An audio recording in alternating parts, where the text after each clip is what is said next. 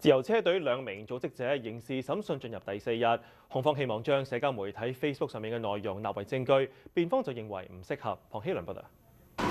警方表示喺審判中接受 Facebook 頁面自由車隊二零二二嘅內容作為證據，係可以證明兩名被告組織者利奇同巴博共謀嘅第一步。